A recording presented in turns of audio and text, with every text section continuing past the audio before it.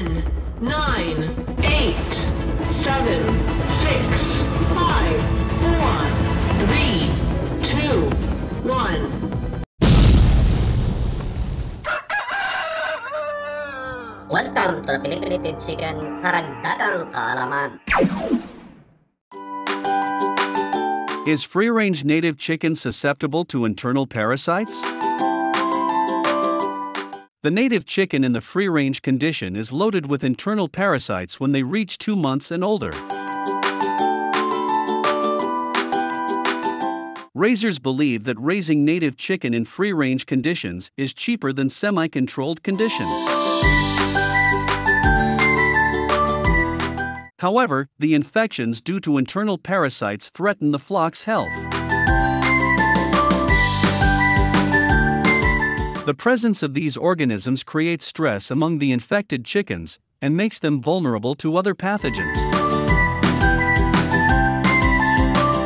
Our field studies showed that the chicks aging 2 to 3 months old have a vast population of internal parasites.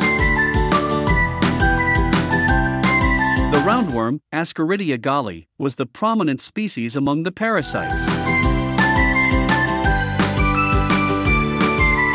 This worm is the reason for having native chickens with bigger body sizes, but has lighter live weight.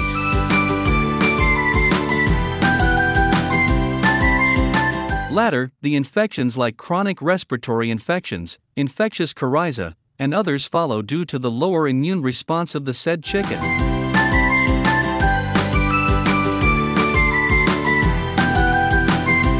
When do the internal parasites start to infect the chicken?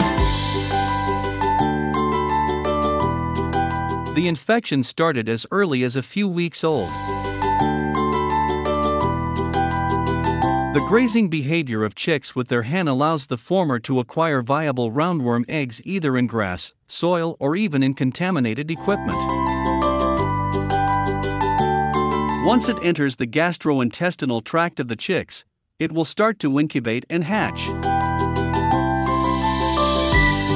The conditions within the gastrointestinal tract favor the hatching of eggs and the growth of larvae of roundworms. It will take about 3 to 4 weeks to hatch. After hatching, it will take 35 days for the larvae to become sexually mature and begin to shed their eggs. When is the best time to administer dewormers? Apply a dewormer as early as 3 to 4 weeks old and have it be done every 2 weeks. Possibly select anthelmintics having ovicidal effects. The active compound within such a dewormer can lead the fertile eggs into unviable ones for hatching. The applied dewormer can cause death to larvae and the developing embryos in the eggs through these actions.